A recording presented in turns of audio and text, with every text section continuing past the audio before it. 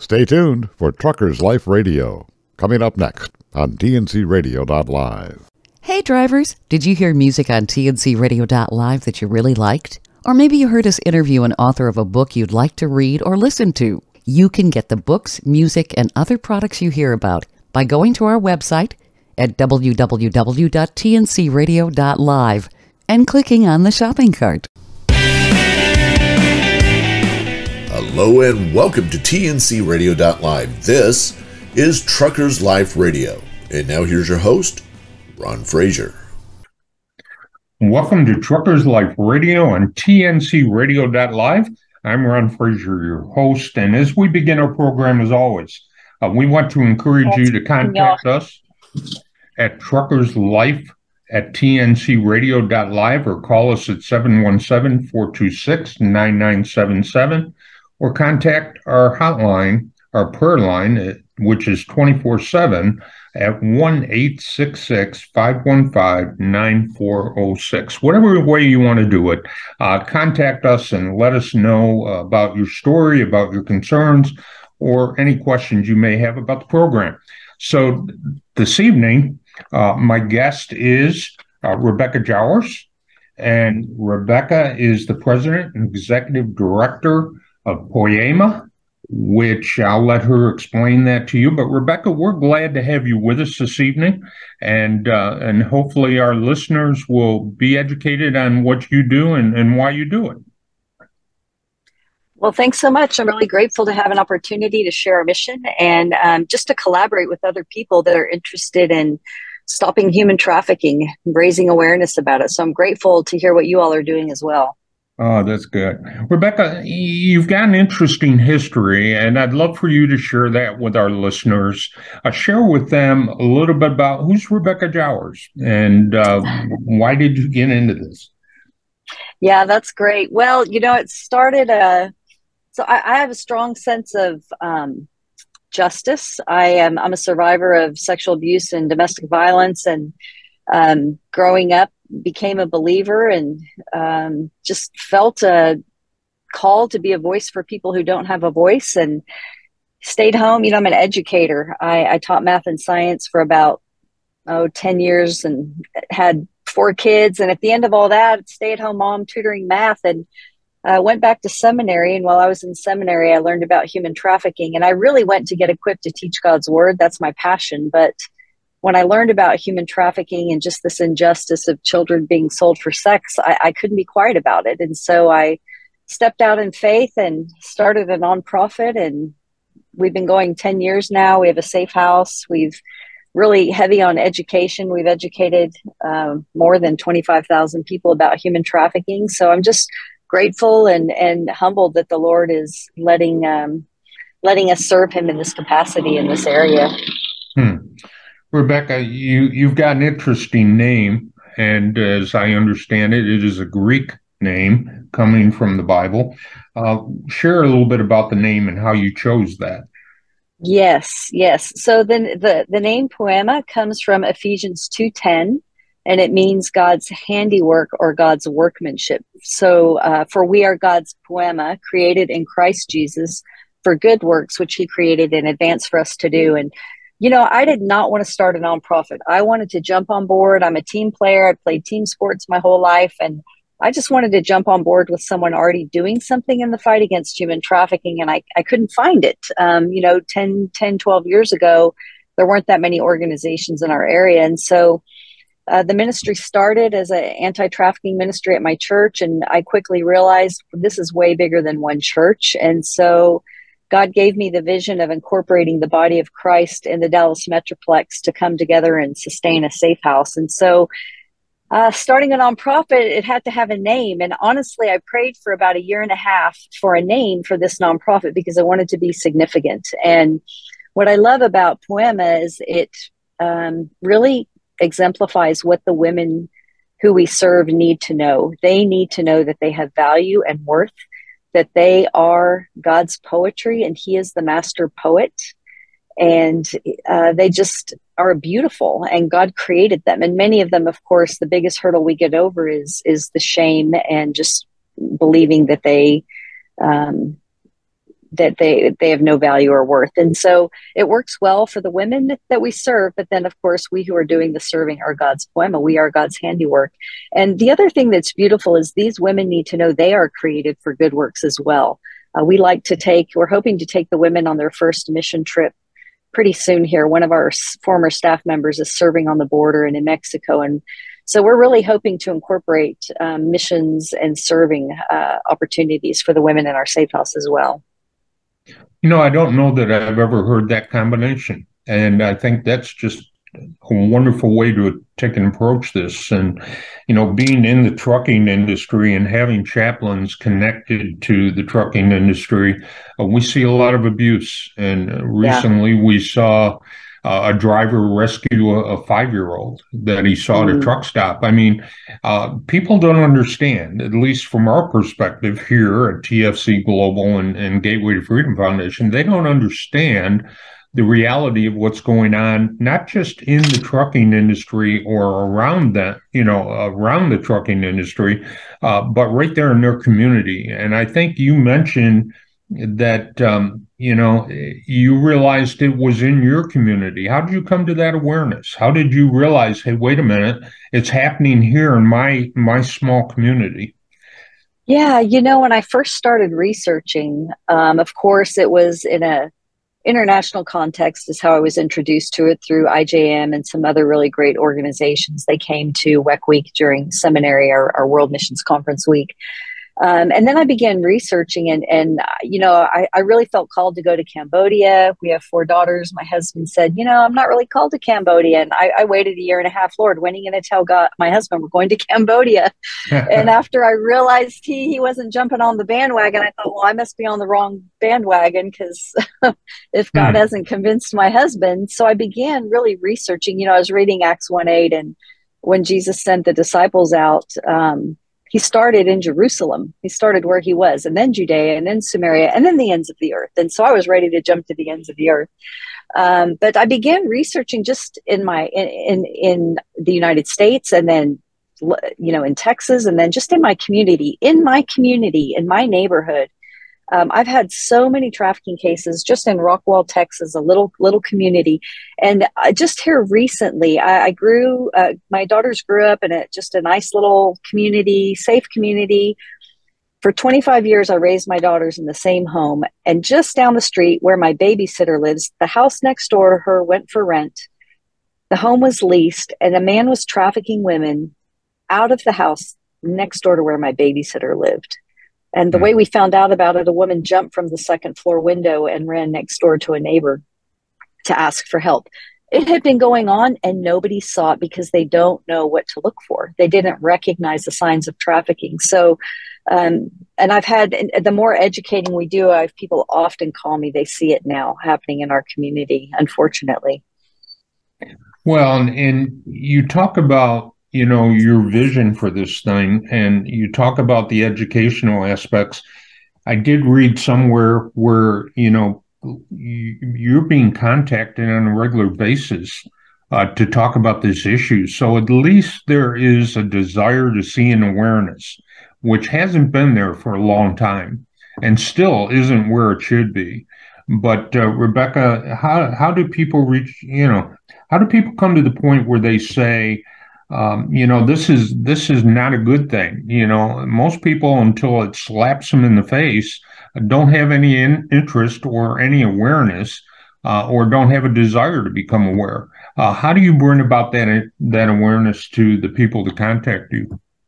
You know that is so true. And i'll tell you i started this work over a decade ago and I, you know we had this rally in dallas and we got together and talked and um, I'd been doing the work for about five years of researching, researching, researching. There's a problem, there's a problem. And I was ready to get to the solution. But when we came together, I, I realized in this little work coalition that, that formed, there were so many uneducated people about it that, you know, I thought for sure the education piece was already where it was. Let's get to the action part. And it wasn't. People still mm-hmm. needed to know. And then 10 years later, I'm still shocked to hear people that don't know what human trafficking is or today often they have false information about what trafficking is. Um, mm. you know the white the white the, a lot of pedophiles are perpetrators. It's not necessarily human trafficking. It may be a pedophile or a perpetrator but trafficking happens differently. So i found that people um, you know like you said mostly when their life is touched by it a child goes missing their cousin goes missing their friend's kid goes missing often they'll they'll a fire will light um, under them and they'll be interested. But uh, for us a real sweet spot has been through the churches um, we we we speak to lots of different churches, faith-based organizations, but then also through the schools. Here in Texas, a House bill has been passed where um, mandatory human trafficking education is required in the school districts, and so that's been a real sweet spot for us uh, to try to connect. And then also, healthcare providers in the state of Texas have mandatory trafficking education requirements every two years to renew their healthcare license. And we last year had uh, we got our curriculum approved by the Department of Health and Human Services, and so we are able to provide healthcare education for um, or the human trafficking education for healthcare providers.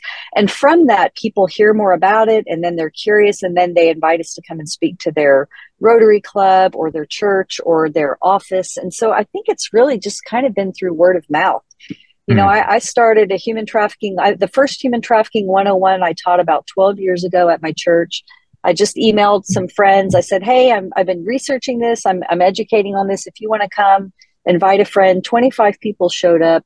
And from then, I have never had to organize another another meeting because people just started calling me wanting to hear about it. I really feel like the Lord's hand has been involved in it as well, to be honest, just making making the connections. That is so good. Well, Rebecca, we got to go to break, but when we come back, we're going to talk more about this and a little bit about your vision. So uh, we'll tell our listeners to stay tuned, and we will be right back. TNCRadio.live, your commercial driver navigation station. We're all about the news, information, entertainment, talk radio, music, comedy, and topics truckers want to hear. I'm Shelley Johnson with Tom Kelly. We're talking with retired NASA engineer Homer Hickam, who's the author of Rocket Boys, which inspired the movie October Sky. We're talking with Alex Debogorski. He's one of the original stars of Ice Road Truckers. Chip Davis of Mannheim Steamroller, music icon and Grammy Award winning country artist Lee Greenwood. We're speaking with racing legend Mario Andretti. Michael Martin Murphey is a legend on the music scene with wonderful ballads and hits like Wildfire and Cowboy Logic. Curtis Grimes. Michael McDowell, the 2021 Daytona 500 winner. Our guest this afternoon is Tom Bodett. You know the name, you know the voice. The Carolina Monkey Gouger, Jimmy Artis. Today we have the honor of speaking again with Long Haul Paul. Today we have Clare Dunn and Logan Mize with us. Stay tuned and stay safe with TNCRadio.live. Catch Landline Now every night at 11 p.m. Eastern Time, along with an encore presentation weekdays at noon, right here on TNCRadio.live. Hey, welcome back to Truckers Life Radio on TNCRadio.live. I'm Ron Frazier, your host, and I am here with Rebecca Jowers, and we have been talking about Poema a ministry to uh, help fight and battle human trafficking and bring awareness to human trafficking. And I have with me Rebecca Jowers. Rebecca, and we're we're going to pick this up where we left off. Um, I want you to talk a little bit about your vision and what your vision was and what came out of that vision. And then uh, we'll talk a little bit about your mission and where you're headed. All right. Yeah, that sounds great. So, you know, learning about um, sexual abuse and how um, miscon- just so many misconceptions about it. And also it's just uh, you know they call drowning the silent death. I, I feel like sexual abuses as well. So many people rarely reach out for help. And so as i began doing some more research i've been studying trauma for about 10 years and healing from trauma and what that takes and what i realized is as as i started educating people about trafficking uh, they started referring women to me who needed help. And the best I could do was put them in a domestic violence shelter for 30 to 90 days. And they just were not equipped. Um, that's not enough time to help someone who's had a lifetime of abuse. And often, trafficking victims' uh, abuse started at very young ages. So the first five women in our safe house were abused under the age of five. Um, one was adopted for the purpose of trafficking. One was 18 months old, two years old, five years old. So, so abuse started at a young age, which kind of set them up to be trafficked. So, you know, my vision was um, how do we raise awareness about abuse, but then how do we provide long term trauma informed care to help someone survive and overcome and heal from the abuse that they've they've suffered. And so that's that's really what where my vision came from. Um, just seeing that there was a lack of of care, proper care um, for survivors of abuse, and then from that, um, the safe house uh, was the dream, um, a, a place where women could come and heal. So, how did you, Rebecca? As I understand it, you got a home that was fully paid for and fully furnished and donated. How did oh that all gosh. happen? I mean, how did the Lord pull that one to you? Uh, you well, know, whatever. You, but well, you know, it's the little, it's the obedience. So I was terrified. I'm an educator, started a nonprofit. I don't know how to fundraise, but I know how to share what the Lord lays on my heart. So I've been doing a lot of speaking mm-hmm. events and teaching, which is kind of my sweet spot. And I was at a church. A friend invited me to come and speak. After church, we we we all went to lunch. I was speaking at a life group, and after church, we went to lunch. And a, a woman who wasn't even in the life group, she just came to lunch with us. Uh, wanted to hear about the vision, and I kind of shared. I feel like God is laying on my heart to open a safe house uh, for survivors to come and heal from human trafficking. And she said, "Really?" And I said, "Yeah." And then we kind of went about talking. After the lunch, she came up to me and said, "Rebecca, God's been preparing me for three or four years to give my home away, and I'm pretty sure He wants me to give it to you. I didn't even get the lady's name. I was so shocked. I said, okay, that's great. We left. and uh, several different things happen because I, I, had had people offer, let me, you can use my house for free before. And it really wasn't for free. It was, they wanted to entertain on the weekend or like they, it just, I hadn't you know, I was just curious about um, this offer and could, too good to be true, right? So two weeks later, the Holy Spirit taps me on the shoulder and says, Are you going to call that lady? And so I had to call my friend. What was your friend's friend's name? It was a friend of a friend of a friend. And so I finally called her back and we met, had lunch, and she took me and gave me a tour of the home. She said, I have a home in Florida. I have a house here. God's convicted me. I don't need two homes. I'm moving to Florida. I just want to leave the house. I don't want to. I don't want to have to move furniture. My home's fully set up there. I'll, I'll take my personal pictures off the wall you can have the house. And so I was driving home kind of dumbfounded and text, you know, talked to my husband, said, I don't even know what questions to ask this lady. And he said, Well, ask her who's paying the taxes and the insurance. And so I texted her and said, Hey, I forgot to ask, what do you owe on the note? Because here I started fundraising April 15th. This was June. Hmm. I don't I don't know how to fundraise. Fundraising for me was saying, okay, God, I'm going to step out in faith and try to fundraise. That's all I had done. and so mm. and so uh, she responded to this text and said paid in full. Don't you love those words jesus gave us? The, the uh-huh. house was fully paid for fully furnished. And so um, yeah that's that's how we got our house. That was in uh, june of 2015 and in september of 2015 we signed the papers and poema owned a safe house. Rebecca i read somewhere on your website it said, humble beginnings have led to great opportunities through faith and provision. Isn't it amazing how God works? I mean, if our listeners could truly understand how God moves, often not in our time frame, uh, but he does, uh, you know, use us in special ways and he moves in ways that we don't often understand. And so that's an amazing story. I, I want to talk about your mission for a minute. It's, uh, as I understand it, it's to raise awareness about human trafficking and sexual exploitation, um, and to help facilitate freedom and restoration of the sexually exploited. But uh, build on that a little bit for us, will you, and for our listeners? Yeah, so you know, there's um, I think for me, I think a lot of my mission came out of my own personal testimony. Um, when I recognized, I came to Christ when I was 18 so I've been a Christian about 40 years, but my healing from my own my own abuse came through a personal relationship with Christ. Um, through that, a lot of healing took place, but then beyond that, there was still trauma, unresolved trauma in my life that affected me. And so, um, for me, I just I really know that people can experience. I, I see so many people trapped in a, in a in a crappy life, particularly survivors of trafficking, because they don't get the healing from trauma the spiritual side and the trauma informed care, the therapy, to me, have to meet in the middle.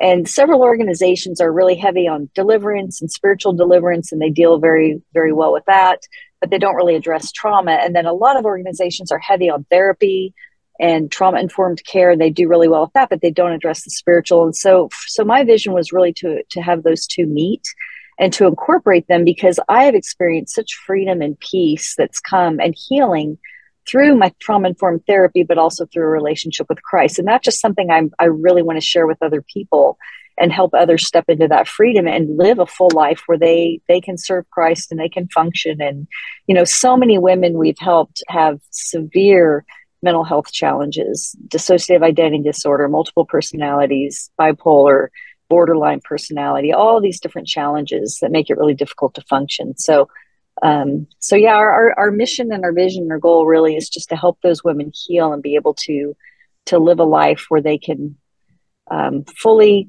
fully serve the Lord and the gifting that He's given each one of them as well. You know, you talk about facilitate freedom and restoration you know, it's difficult because so often when women or anyone abuse, because this refers to guys as well, uh, anyone that has been abused goes into a system of trying to be restored.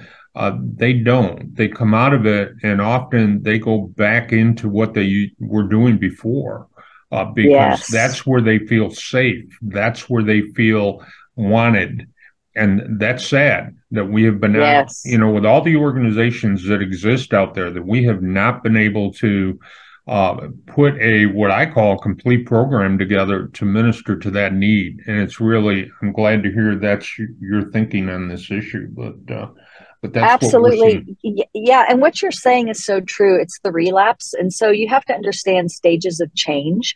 And I'm actually writing my dissertation on this t- um, narrative therapy and stages of change, how people change their life and what it takes to change their life, because relapse is part of it. If we have a girl go back in the life, we never give up on her. She may have to wait 30 days to reapply to come to the home. But I know a lot of mm. places will kick the kick the woman out, you know, um, survivor out. But relapse is part of recovery, and um, it's part of that again, believing they have value and worth, and they can live a different life. You know, it's a lot a lot of the journey of recovery is is part of that. Yeah. Thank you for pointing that out. Um, rebecca how do these women cover the cost of coming to the home? Is there a cost that they they have to deal with or are they supported from outside sources or how, how does that happen? So we are a 501c3 nonprofit and the lord provides what we need to help these women Mm. And so that that is we don't um, we have a transitional program where we do have women as they're preparing to transition out uh, pay rent and actually goes into a savings account that will then be used to set them up in their own apartment with down payment first month's rent furniture etc but um, we in our transitional program we we help women learn how to pay bills budget money you know we set them up to be financially or to be independent and to be able to stand on their own financially. But when they're in our home under the, the program that we have, uh, we cover those expenses. We do have them, they need buy in, so they do cover some expenses as they're able, but it's all on a sliding scale. And um, usually the first six months they're in the home, they don't pay for anything at all. Um, beyond that, it's good for them to, and, and there's a book called When Helping Hurts you know we don't want to enable anyone. We want to set them up for success uh, to be independent and to feel good about themselves. So once they get a job and they're able to work we charge a very minimal rent which i said again kind of goes into a savings account for them. So yeah that's how we care for the women. And honestly the, the medical care dental care a lot of that we get donated by uh, uh, partners. I don't think we've ever paid a dentist because we have so many dentists that are amazing that partner with us and donate their their services for the women. Mm. You know, that's a blessing. It's it's God's work and God's community that comes together to to meet that need. So, hey, when we come back, Rebecca, we're going to talk a little more about this because I think that's prevalent. I want to talk about the three core initiatives that you guys have. So, uh, we'll be right back. Ready for the power of positive and something that will put you back to a time you wanted to last forever? Music is the ultimate time machine. What was your favorite time? Do you want to go back there? LTD Radio features the songs of the 70s, 80s, and 90s that will transport you to a happier time. It'll make you smile and brighten your day. We could all use that about now.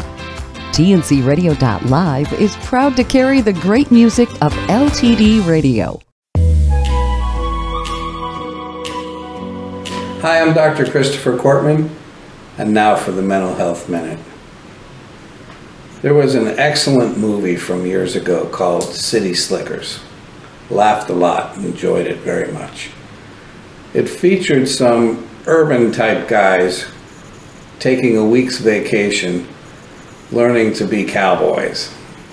And they showed them riding endlessly horseback and trying to figure out things to talk about. In one episode, they played a game called Worst Day, Best Day. And they shared with each other the worst day of their lives and what happened, and also the best day. One cowboy wannabe was talking about his childhood, and he described a scene where his mother and father were fighting yet again, and his father was aggressive with his mother. And the story he told is that he finally got up the nerve as a boy to get up in his father's face and say, You get out of here. And he said, My father left and he never came back. And there was a sense of quiet. And then finally, someone changed the subject by saying, Okay, best day. And he said, Same day. Sometimes going through the worst thing in our lives gives us the opportunity to grow and turn things into the best ever. I have a patient now, a young lady who was in a car wreck while she was drinking and she hurt some people.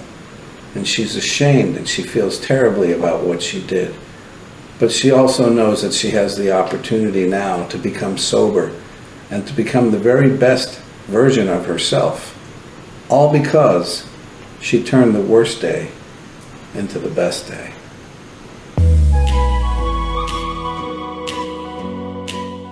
Be sure to listen to Building Strong Minds with Dr. Chris, Mondays at 7 p.m. Eastern, 6 p.m. Central, right here on TNCRadio.live. Hey, welcome back to Truckers Life Radio and TNCRadio.live. I'm here with Rebecca Jowers, and we've been talking about human trafficking and abuse.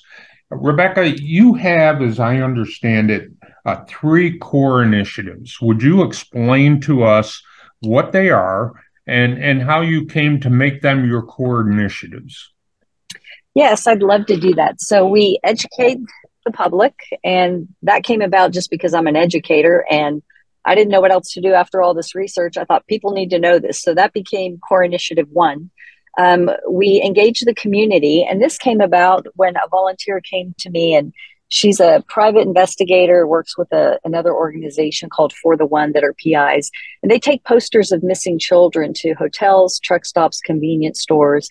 And the organization they were doing that with um, was closing down that section of their ministry. And so I went to that ministry, got their blessing, and we we picked up the ball and it has grown tremendously. We over have over 600 active volunteers now that take posters of missing children to any place in the community where a missing child might be, either where a trafficker may take them or where just a kid who runs away may go, like a Walmart that's open 24 hours or a Whataburger. And um, we've been very successful in partnering with these private invest with the private investigator to help with the recovery of over 250 missing minors. And uh, the Department of Health and Human Services says within 48 hours of a child going missing, they will be approached by a perpetrator.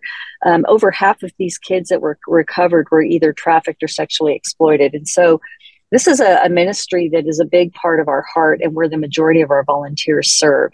And it's kind of where we got interested in um, the truck stops and what's going on there. And um, our third uh, pillar is empowering survivors. And this came about um, after education and outreach, uh, engaging our community, letting them knowing about trafficking, people started calling me with survivors. And again, I couldn't really find an adequate place for them to get the care they needed. So I thought, oh my gosh, I'm going to have to open a safe house. And so uh, that's where um, we came. And I really started uh, studying trauma and aftercare, visiting safe houses all across the country and taking best practices and um, I have a, a, sweet family in Houston that has a safe house, Redeemed Ministries, that have mentored me through the process as well. And so we opened our safe house. It was donated in 2015, 2016. We raised funds for staffing and were able to open in 2017.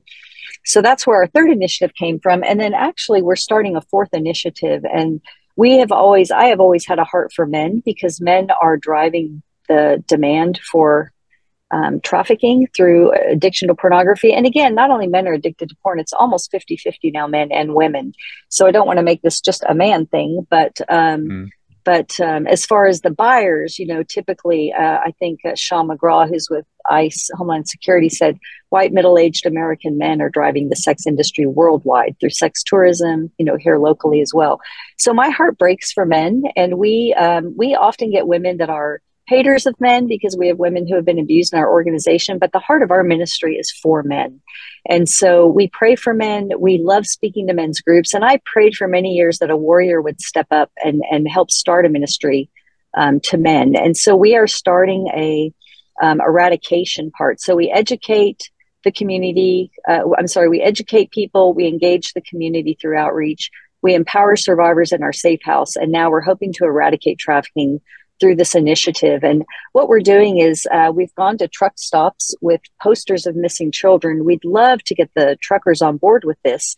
They go all over the country. And so to have eyes everywhere at every truck stop and across the country looking for these missing children. And they're all registered with NCMEC, National Center for Missing and Exploited Children. We just mm-hmm. have that many more eyes looking for missing children. So, what we've done is we've set up a, a coffee stand at the truck stop, offered cookies. We have the Gospel of John. We have a, a men's ministry, Bold, who are they've overcome pornography. They are there. So, they're there to support the truckers, to meet with them if they want to pray to um, offer our missing kids poster, ask them to engage with us in this fight and looking for missing kids. And so that's where our fourth, fourth initiative has come from, and we'll launch that in 2023. We've we've had some trial runs, and another part of that is mentoring young boys aging out of foster care. So we have a couple of boys right now that we're aging, and at some point we may even open a transitional home for boys aging out of care. And our idea there is that we can prevent trafficking from happening if we can change the hearts of men. And so, getting young boys who don't have any mentorship, um, guidance, um, or family, what we'd like to do is step in and provide mentors, jobs, opportunities for school, and a safe place to live. Housing is so critical. People, I, I just don't understand um, I, how I've taken my home for granted for so many years because I'll tell you, most of the people that we try to help, the number one stabilization thing they need is a safe place to live. Hmm. Rebecca, your your heart is our heart. You know, TFC Global started as Gateway to Freedom Foundation because of our ministry to the trucking industry and to mm. men. And out of that came what we call the TFC Global Addiction Intensive. T- twice a year for three days, uh, we bring guys in who are addicted to pornography, and they have the opportunity to be with professional counselors who help them through a process or start a process that we continue to follow up on uh, as they leave the program. And we have just seen man after man, not just the professional drivers, but the doctors, the lawyers, yes. uh, the individuals who you wouldn't anticipate being part of this, uh, come in and and take part in this uh, pornography addiction intensive that we we have. And that's partially why we utilize our chaplains at the truck stops around the country uh, to to let the drivers know that there is an avenue for them uh, to begin to deal with their addictions. And so we're excited about what you're doing because it's our heart as well. And what we see out there is a very limited opportunity for our men. And I think you hit a key point, especially the guys in foster care. So many of them who do not get adopted by the age of 17, um, you know, they're out of foster care and right. they they end up on the streets because they have nowhere else and they're not helped once they leave and so that holds true for our young ladies too and so yes. we are excited anytime we hear the opportunity to to be ministering to these young people and we try to do it on a regular basis um, to get them the help they need so they don't go in preventive help so they yes. don't go into that that area of uh, pornography or in that area of being human trafficked. So we're, we're, excited about that. We'll pray for your new initiative as it goes forward. Um, you know, a lot of work to be done. Uh, the, yes. The, the, need is the fields are white to harvest when it comes to meeting that need. And uh, we're excited about what you're doing. How do you see your ability to, what's it look like? What are you choosing or challenging? Uh, how are you going to go about this ministry to men program that you have? Yeah, that's a great question. So, uh, Steve Glass has been uh, spearheading it. Uh, he's a volunteer currently right now. And what we're doing is we're starting off um, in life groups. So, what he's doing currently is meeting with men um, and getting them trained to be mentors.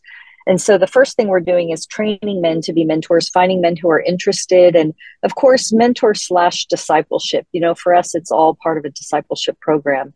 And then we've also partnered with uh, a foster group foster home called Bulls Children's Home or Arms of Love. And we've gone in there and developed, um, the men have gone in and developed relationships with some of the young boys there. And so the way it started is these young boys, we just needed some help uh, in our yard you know, with landscaping. So we hire a couple of these teenage boys to come and work for the day. They're working side by side along other men in the yard. They're learning how to work. Um, great kids, two really great young men. Um, they're getting ready to age out of this program. In fact, one of them did, and he moved to, there were two brothers. He moved to Lubbock to live with a family member, and it just wasn't going well um, with that family member. And so he wanted to come back. And so now we're also partnering with a church, and this church, because we do not have a home currently for the boys, uh, we have a family at a church that has an apartment kind of out back of, of their house, a little one bedroom efficiency. Um, they are allowing this young boy to stay there while he is uh, working to get a job. We have to help them get their driver's license. There's just so many steps to help them get to independence, get a, a livable wage, try to go back to school. So currently we're helping two boys and it's kind of been through building a relationship with a, a, group foster home relationships with churches and getting men trained and equipped and, and to have buy-in to be mentors to these boys hmm. uh, just in the last couple minutes we have before a minute we have before break what is an ncmec poster? Okay yes NCMEC so national center for missing and exploited children is an awesome organization where you can register a missing person and they will always have a detective working on their case until they're either found dead or alive. And so it could be 20 years, there's still still be an active case there. And so when we put children on our posters, we always have them register with NCMEC and which is is this what that stands for. And part of the reason for that too is, you know, when we're dealing with minors, we have to get permission from the parent to have the poster of a minor um, you know put out there publicly and so but the main reason also um, there there have been some laws that have been passed. So for instance i don't know if this is a state law. I, I, it is here in texas. I don't know if it's beyond that but if a child in foster care runs when they age out of foster care no one's looking for them anymore. But if they're registered with NCMEC, there's always someone going to be looking for that kid, even if they age out of foster care. Uh, Rebecca, that's great information for our listeners. And yeah. as we come back, we're going to ask you how our listeners can get involved with your ministry. Uh, so we ask them to stay tuned. Uh, this is a great program. Uh, you're going to want to hear how you can be involved in it. Stay tuned. We'll be right back.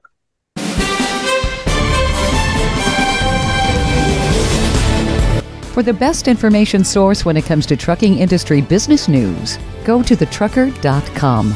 From the latest spot rates and freight market stats to who's buying who and who's partnering with who in the world of motor carriers and fleets, the business page provides valuable insights on every aspect of the trucking industry. In addition, the section offers tips for making the most of carrier and driver discounts at travel centers across the nation. Wondering how COVID 19 is impacting the industry this week? Need tips for building business as an owner operator or choosing the best carrier as a company driver? Curious about the latest news about nuclear verdicts? Find these answers and more in the business section of thetrucker.com. The Trucker News staff produces engaging business content for not only thetrucker.com, but also the Trucker newspaper, which has served the trucking industry for more than 30 years.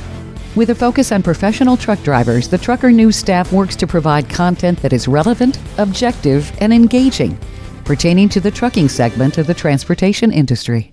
Just go to thetrucker.com or use the tncradio.live app to access the latest in trucking industry news. Join Shelley Johnson and Kathy Tuccaro every Tuesday at 7 p.m. Central Time for Women Road Warriors on your driver navigation station, tncradio.live. All right, Ron, final segment. All right. Rebecca, in this segment, um, in reading briefly through your website and trying to gather some information here, I understand that you have uh, a number of opportunities, whether in the home uh, or whatever, uh, to do ministry with your organization. Uh, this program's all about helping other ministries uh, promote their ministry and to get the help they need. So uh, I want you to begin to share as I as I introduce you again, and we talk about the opportunities, and you know I ask you about them. I want you to share how can people connect with you. Um, what if you know talk to our listeners? How if somebody's out there and they're going through an abuse situation right now, uh, what would you tell them? Uh, how can people be uh, involved in your ministry in one way or another? And what are some of the needs that you have, whether that be financially or just uh, in material things, uh, as far as other homes or whatever. I think you get my gist. Right. Yes. So that's where we're going to go in this last segment. I, I want to put you out there, so to speak. All right. Great. Awesome. Thank you. All right. Here we go in three, two, one.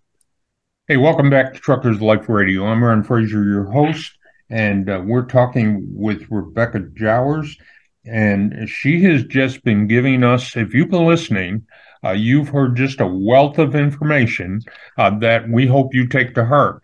Uh, but in this last segment of time that we have with Rebecca, uh, we're going to talk about the opportunities that you, our listener, could have to be involved in your ministry. So, Rebecca, uh, how do number one, how can people contact you, connect with you, or what opportunities do you have for them? And secondly, what would you share with someone who's out there listening right now, maybe on the road? Um, maybe they're just listening at home, uh, but they are victims of abuse. And what would you share with them and what would you tell them to do? So, Rebecca, let's start with uh, how people can get involved in your ministry. Yeah, that's great. Well, so lots you can be involved in our ministry no matter what gifting you have. And I tell people that like one of the ladies that serves as on our board of directors, um, she's a marketing genius. That's her thing. And so she's never come to the safe house, doesn't want to work with the women, but she helps us with our North Texas Giving Day campaign every year, which has been very successful because of her kind of marketing strategy. So whatever gift you have, don't think it's not for this ministry because it is. We have a CPA that serves on our board. Uh, my, you know, I was an accounting major for four years and changed my major for a reason because I didn't love it. wasn't my passion, but um, uh, you know, we, pretty much any any gifting someone has, we'd love to talk to them and hear how we can incorporate it within our ministry.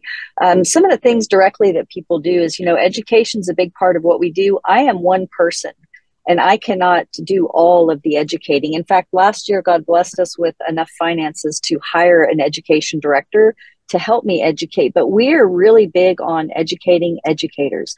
We love to train people, get them equipped so that they can go and educate people about this. For instance, we have a team in South Carolina now. We have a Poiema campus there.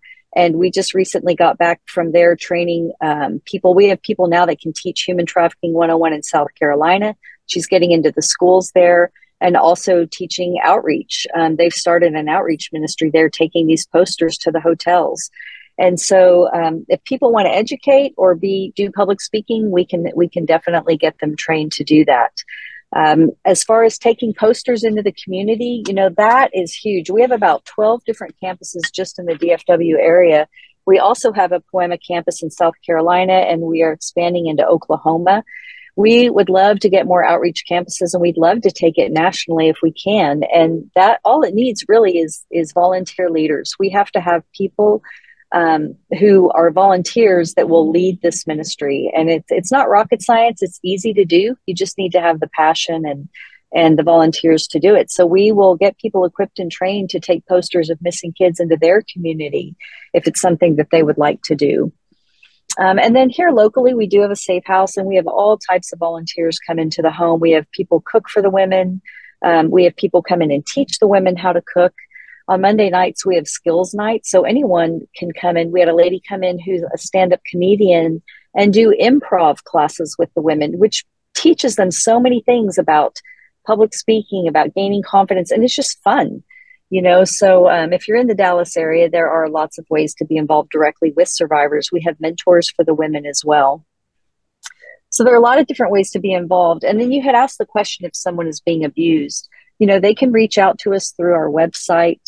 Um, I would also have them call local if if if they're in imminent danger. They really need to call local law enforcement. Um, I always tell people if if you're in imminent danger, call local law enforcement because they can help you right away. Um, but I've helped many women who are in a, an abusive situation who haven't reached out to anyone and they're not yet ready to leave their perpetrator. And so they can reach out to us. They can send an email to info, I-N-F-O, at poiemafoundation.org. And that's P-O-I-E-M-A foundation.org. Um, or they can also call us. You know, we've got a, a I've got a great, great lady that answers the phone for Poiema, and we have an, a huge list of resources and so, if somebody calls and they need to be referred um, to services in another part of the country, we do have uh, a resource list where we're able to help people all over. But the number for our, our ministry here is 469 757 8888. Hmm. Rebecca, so often people are afraid to reach out because of just fear, just basic fear. So, what would you share with a listener who's like, I don't know that I can do this. If if I do this, I'm going to be on my own. I'm going to be fearful. Uh, I'm going to be, you know, isolated, and and I don't deal well with that. So how do you how do you encourage someone who may be sitting there saying, "Yeah, I'd really like to do this, uh, but I have this fear thing going on, and uh, and I don't know how to break away." Yeah, that's a great question. And I'll tell you, that is in their timing. So I, I work I met with a woman for eight months before she gained the courage to walk away from her pimp. And part of it is she had to earn my trust. You know, she had to learn that I was a trustworthy person. And so uh, shame is a big part of it as well. People are very ashamed of what has happened. Shame is, is crippling for people. It was for me for many years. So, what I would just say is, you know, for me, I have found that whenever I share my testimony, that is usually a deep point of connection with another person because they're like, you get me, like, you get this. And so, I would say here at Poiema, we have many survivors on our staff. You can call someone who is going to get you. You know, if you need help and you call our number, they will connect you with someone who will be able to talk to you give you some choices, give you some suggestions, maybe other places to call that are close to you that, that could help you receive services. We're also also part of a national alliance referral system. So if there's a trafficking victim, we re- we receive um, referrals from all over the United States um, to our safe house. We can also refer somebody wherever they are um, to safe houses all over the United States. So um, I would just say, you know, the first step is just pick up the phone and we'll have a conversation. There's not going to be any judgment. Uh, we will love and accept you and honor. Our, our big thing is honor, validate, and get curious. We want to honor women, um, survivors where they are. Um, we want to validate what they've been through, and then we want to get curious about how we can help them. Mm. You know what I love about your ministry is it's not just aftercare. There are a number of organizations who do the aftercare after the situation is done. Uh, but mm-hmm. you've really balanced between aftercare and the idea of wanting to eliminate this issue, uh, the pornography issue, which we know fuels this whole human trafficking situation. You've really seemed to find found a balance uh, between the aspect of training and awareness and eliminating, you know, ending the game, so to speak, and and and a pimp calls it a game. uh, yep. ending the game, and also the aftercare aspect. You're not focused one or the other, and too often, or so often, uh, that's what we see from organizations. Yes, I am so passionate about prevention because to me, if you can prevent all of this from happening, you don't have the mess of the cleanup. You know, if if somebody had prevented childhood sexual abuse from happening in my life, you know, um, or other people's lives, just getting educated. And I'll tell you what, that is the hardest thing to get people in the room to hear. I held a, a, a, a prevention, a sexual abuse prevention training at a church of over 5,000 people. I had 20 people come to the training. And it broke my heart because we advertised in the preschool department, the grade school department, but people don't think it's happening. They don't think it's going to happen to them. And I'll tell you, familial um, abuse is is huge and just so difficult, so challenging.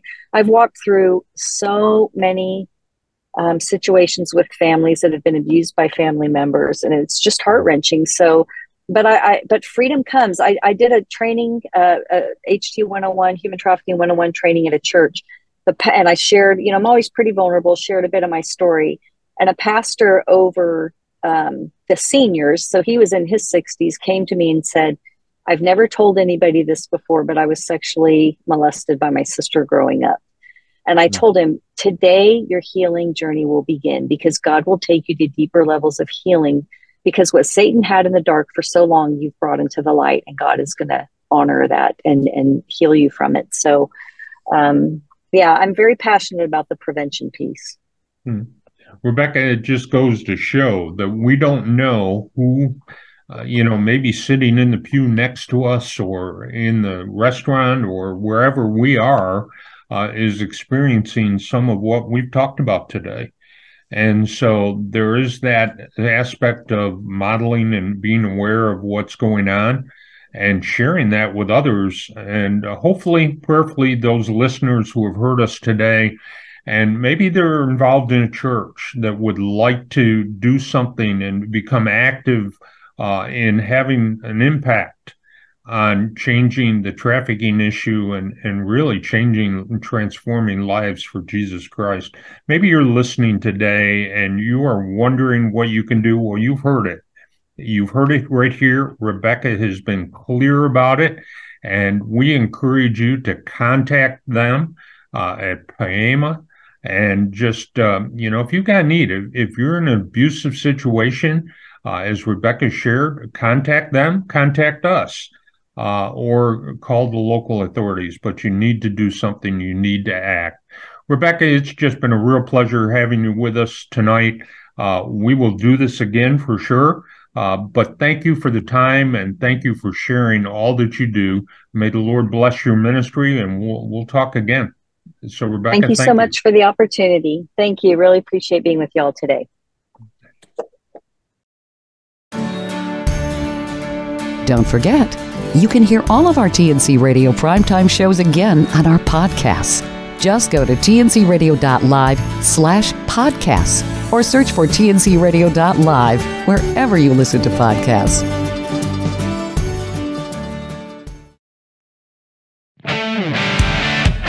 Do you have the tncradio.live app? It's free and easy to download. Just go to app.tncradio.live Google Play, or the App Store. Get access to live streaming radio developed by drivers for drivers. Download the TNCRadio.live app today.